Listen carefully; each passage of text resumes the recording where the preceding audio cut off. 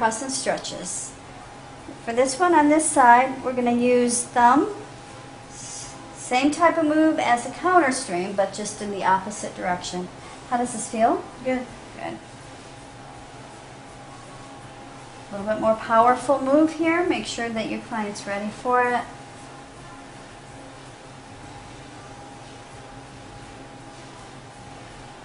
Okay. At this time, you could choose to do a PNF stretch. Would you like to resist against the pillow 30%?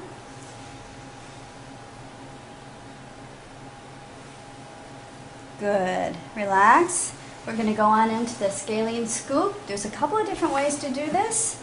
You can do it from underneath, bring them over to the side, and then you move their head as you're scooping into the scalene starting at the SCM. Or you can do it same side, counter strain, starting from the back, scooping up into the scalenes. This is what my hand on the other side is doing. Scooping in, stopping at any tight muscle because it's not letting you go. So from this side, that would look like this. And my hand again is going like this, getting hooked on one of her scalenes. Could be splenius capitis or cervicis, which is a little on the tight side. Then as it releases, you can feel it roll underneath your fingers and go. Okay. Press and stretch the scalenes at the clavicle. This is really good for myofascial restrictions, which you do get with the scalenes and the SCM.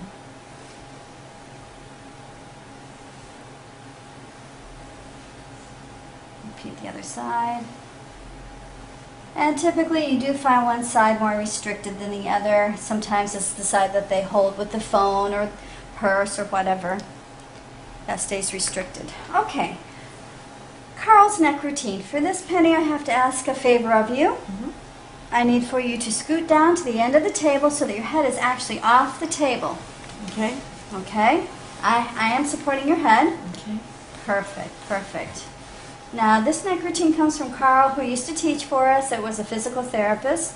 Some people love this work, and it really worked well for them. Other people were a little nervous with it, so that's why this is optional. My fingers are pressing right in gently to the spinous processes as the head comes back. How does that feel to you? You're not getting dizzy or anything, are you? Mm -mm. Okay. This is a good move for anyone that's had whiplash. Now this stretch is a little bit different. We're taking chin to the side of the shoulder that you're stretching down. So you feel it in a different area of your neck. Okay. Repeat on the other side. Bring chin towards that side. Do that a little bit further. That feel okay? Mm -hmm.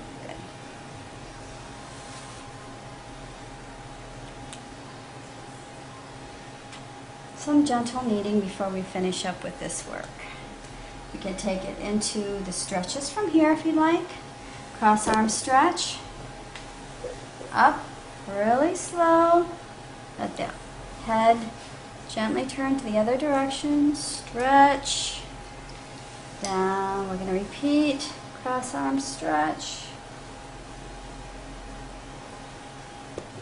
And to end with the neck work, we're going to do a nice traction pull with a meltdown. See, she even goes farther this time. You do the traction pull by hooking the forearm into the occiput and stretching this way. How's that feel? Good. Uh, some people will choose to use a towel and hook it right here and pull back. Sometimes that hurts the ears though, so you got to be careful of that one. You can even use a pillow a little bit. If this hurts your ears, let me know. You feel the traction? Yep. Okay, no pressure here, just a kind of like a little anchor pillow. What you're looking for with this, if you could see, her toes are moving up towards her head with this traction pull. Next, we're going to go on down to the shoulder. Now the shoulder routine is wonderful for anyone that has frozen shoulder, which means that they cannot do a, a movement like brushing their hair. That movement hurts. Or if you say, take your client back this way and they had limited range of motion and their shoulder stopped about here. These moves are going to be wonderful for that. So after effleurage, the typical knuckle effleurage, working in coracobrachialis. Do that one again, flat hand, knuckles, coracobrachialis, pec major. Turn hand to the other side. If their arm doesn't go down like this, you need to work those appropriate flexors. Biceps and on up. Forearm.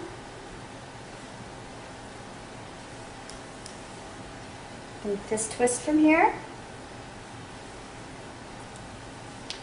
Forearm work. Brachioradialis is sometimes tight on people, so you can spend a little bit more time there. Typically, you may want to stop here and do a trigger point. And on up. Okay, we're going to wrap the arm, get it loose. We're going to do a counter strain to the scapula, the um, subscapularis. You're going to put a fist right into the scapula to push it in. Bring the arm over. How does that feel, Penny? Good.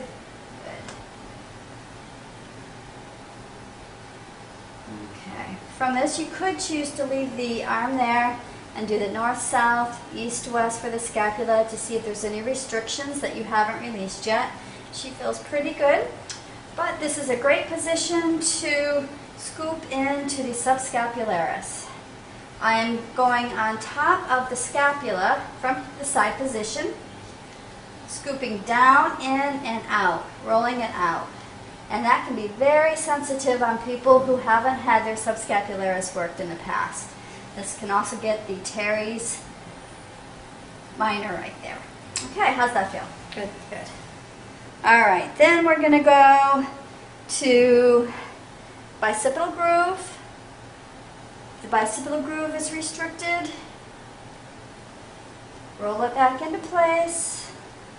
You can feel a little bump there. Then we're going to take the arm above the head, what's ever comfortable, and work from here, friction the triceps. All the way down, teres. What I'm going to do is my arm's going to go across the body and below to hook into the ASIS to stretch it down for a whole thorax stretch on this side. So that.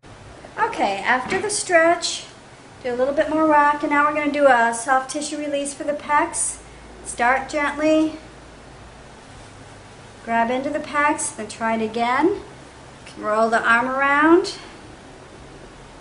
Now if her pecs were tight, this would be really sore, so be gentle with your client. You want to check pec minor right here, friction it.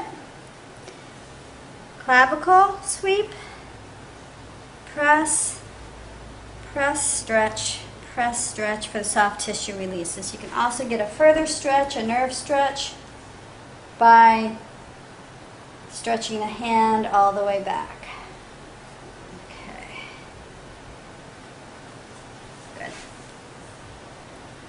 Now we're going to start with the chest. There's a few different chest moves that we're going to do, so I'm going to move over here. Next to her sternum and on her sternum, everyone has neurolymphatic reflex points, which when we find a sore one, we're going to stay there and work it for around 10 seconds. This technique actually comes from Touch for Health and Applied Kinesiology. And by releasing these neurolymphatic reflex points, it can strengthen weakened muscles just by working with this. All of these correlate to neck and shoulder muscles right in here. Okay. The next move we're going to do is a lymphatic pump move. And for this, Penny, I need your attention. I need for you to take some really slow, deep breaths. Inhale and exhale. As she exhales, you'll feel your hand sinking deeper and deeper, and then you hold it at that depth you don't let it release, and she still keeps on taking a deep breath. Good. Exhale. Good. Now on this third deep breath as she starts it, you release quickly and that restarts the lymph system in the thorax, which has a lot to do with the cleansing and the circulatory system. So that's a good move to do for anyone that feels tightness in the chest or their ribs may be out. That's a great one. Uh, also good for the rib cage. For the first rib, you go from the mastoid process down. And again, you're going to be doing these moves on the people that you feel as though have thoracic outlet syndrome, uh, the restricted range of motion of the shoulder. These are all things that you need to check. And hers actually feels fine. I would actually feel uh, the first rib right here if it was out, but we will just imagine that it's out. What I'm going to do is bring her shoulder up, ask her to keep a straight arm and a fist. Straight arm and fist. Okay, straight arm and fist. Wake up. Straight arm and fist. you keep moving and I keep waiting yeah. for you. Uh-huh. Towards your feet, all the way down. Keep on pushing. All the way down and push. Okay, we're going to do that one more time and I'm going to bring your shoulder up. My finger's going to stay on that first rib, straight arm, fist. Push me down away from you towards your feet. Good. And that works with the first rib. And a lot of times you'll actually feel it releasing. This, this move is a little bit different. This is for the second and third ribs. We're going to put the thumbs in the axillary area. You're going to do a similar move in which you're going to lift the shoulder towards the ear. And now, Penny, push me away from you and down. Away and down. And we're going to repeat that. Away and down. And that works for the second and third ribs.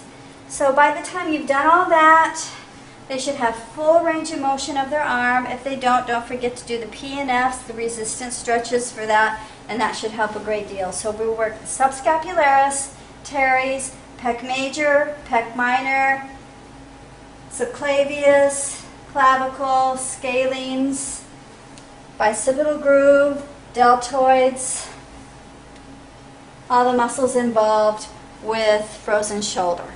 So that arm would be done after that. Okay.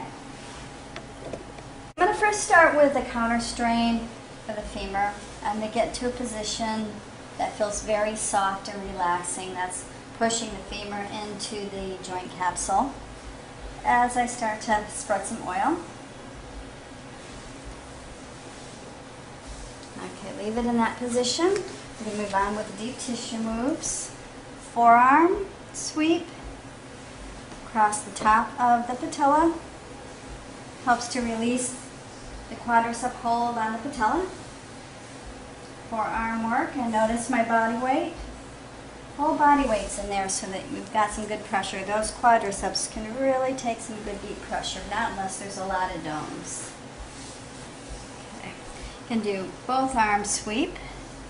Tibialis anterior, quads, peroneus, iliotibial band.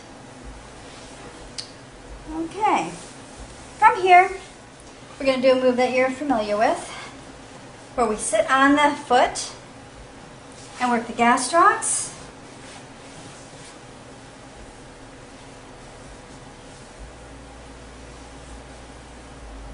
For the ringing. Pes anserine group below the medial knee. That's where all these adductors come on down and insert. And the head of the fibula, where gallbladder 34 is. And stomach 36. Very important areas. Flange, around the kneecap, and on down adductors, and IT band. It's a lot of rocking going on for that. Okay, after you feel as though you've worked that well, we're going to put a protectant over the shoulder. You're going to bring the heel of the foot, Rest it on your shoulder. Keep the knee bent for this one. And you're going to do a DTF with the knuckles. Gastrocs.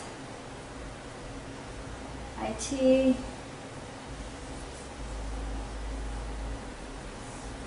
Adductors.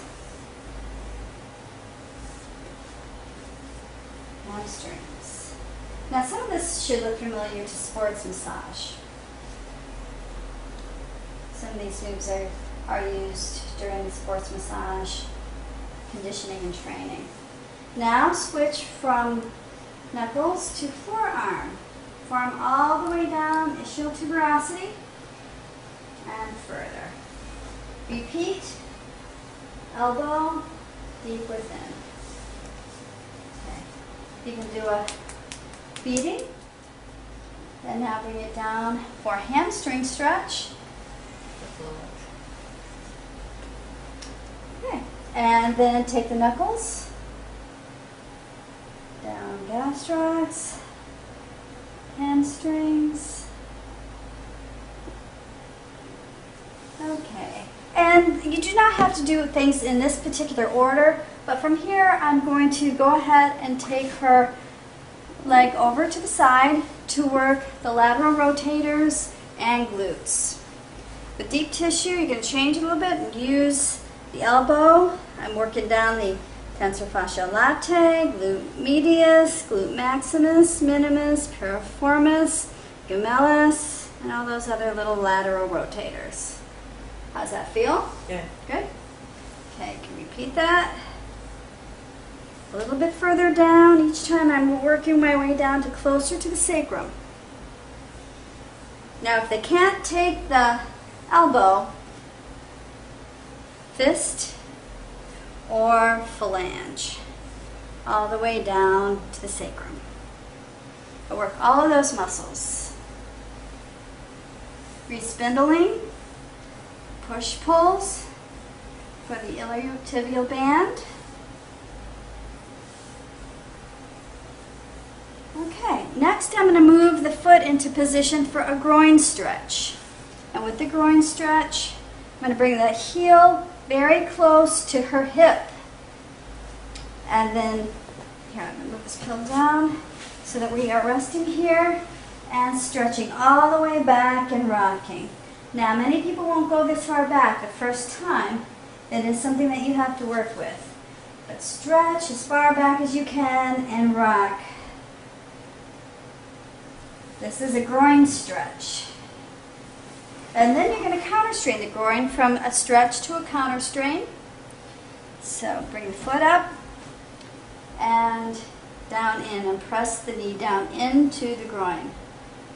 Of course, you wouldn't put pressure on the knee if they had knee issues. Bring it on down to the side. Adductors, we can reset the spindles if the adductors are tight. Again, doing push-pulls. Forearm effleurage, arm saws, jostle, rock,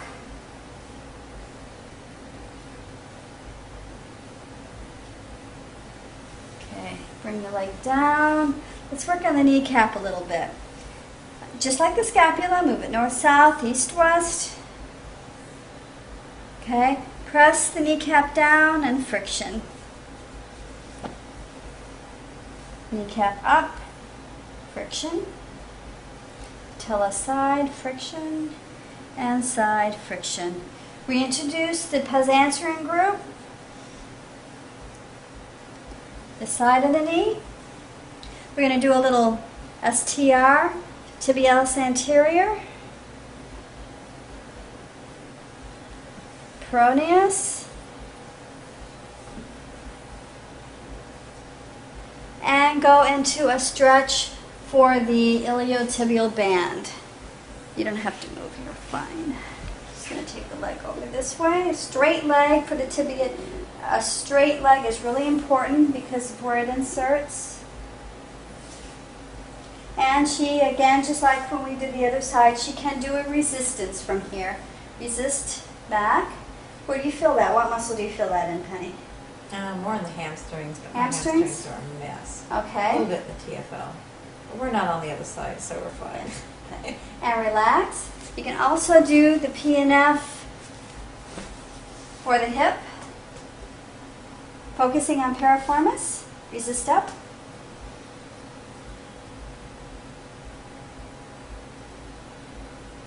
Okay, and relax. Back over to the side, taking the draping with you. Okay, I'm going to check the leg length, and it is perfect. You can do bring both feet together, see if there's a restriction in the movement of each one. When one side doesn't move as well, that means the psoas is tight on that side. We've worked this leg, her left leg, quite well, so that psoas is very relaxed. This one is still restricted on her left leg. Let's do a little pull. If there was still a difference in leg length, you could take the short leg and uh, pull out for 30 seconds to try to reset in that direction. Okay. Okay, let's check the scapula, north, south, east, west. Get a good movement flowing. Make sure it's moving very well, which it is because we've already done some work. I'm going to go ahead and start with the upper quadrant. Doing an effleurage, spread the oil on up. Are you okay with getting a little oil in your hair, Penny? No, I'm fine with that. Okay, good. Then take the sweep behind the ear all the way up into the scalp with a little hair pull. Okay, now we're going to do the same thing with the knuckles, flat knuckles, triceps, the top of the shoulder, traps, levator, scalenes, hook into the occiput, and up the ear and into the hair, and a little tug if they like it. Arm saws, neck, knuckles, elbows. You can use just about anything in this position. Okay, while I'm doing this, keep in mind that I also have the traction pull on the shoulder to pull it down. From the neck, we are going to bring the arm back and we are going to work the pecs. We're going to focus on the clavicle. We've done quite a bit of that. Scalenes, put one finger above and below the clavicle. Start at the sternum and work the subclavius on over, pec major. Check out pec minor, see if that's tight, and if it is, we will do a stretch for that, which is coming up. Okay, we're gonna, if they are comfortable, if you are comfortable with this, you can rest their arm on your waist. Is that okay with you? Mm-hmm. Okay, that gives you a little bit more traction here. This latissimus dorsi release. This actually releases the lats from this position because of the, the um, insertion point on the iliac. And while you're doing this, get a little rock going. And we're going to friction pec minor. We're going to friction coracobrachialis, bicipital groove, which is the origin point and insertion of many muscles, very important to do. Okay. Deltoids. Okay, how's that stretch to you? Does that feel good? Oh, I like it. Okay, let's see if we can get her further down towards the table. The goal of this one is to see if you can actually get the shoulder to the table with the hip up for a really good thoracic stretch, which that's not too bad. Okay, from here we're going to work infraspinatus. Hook onto super or subscapularis and get into the rhomboids for press and counter strain. This is a yummy. Yeah, feels good. Okay. Supraspinatus. Moving scap. Levator scap and on up. So we've worked the neck, shoulder, the back. Now we're going to take the arm up above the head and stretch. Okay, good. Stretch as far as comfortable for the client. From this position, you can work a lot of the different muscles. I'm going to rest her arm on her head if she's comfortable with that. How's that feel? Good. Okay. If, if you'd like, you can put a, a, an extra towel on there. From here, I'm going to focus on subscap, teres, Bringing the scapula down. Ribs. In between the ribs. Pushing on the erectors to give a little bit of stretch to the erectors. Okay, now I'm at the QL, in which I'm going to do the vibration for gallbladder 30 and the QL. Make sure you have it. If you're not sure if you have the QL, have them hike it for you. You're sure you got it. Yeah, I'm sure I've got it. That's a hard one to learn in the beginning. And you can do a sweep from the ASIS, bringing everything all the way back. It actually feels a little myofascial. You can feel the myofascial restrictions on many people. Okay, we'll bring this arm, nice stretch. And she goes a lot further back this time. She can have her arm back.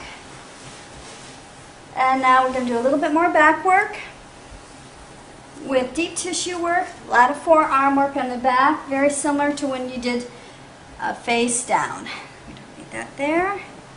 Stretch with one forearm on the sacrum.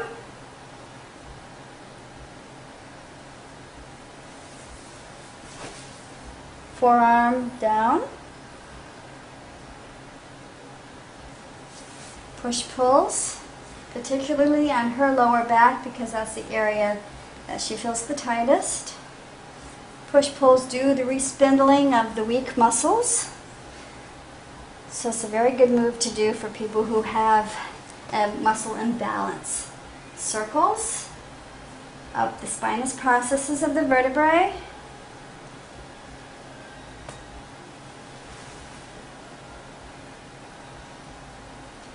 Serpentine, feeling in between.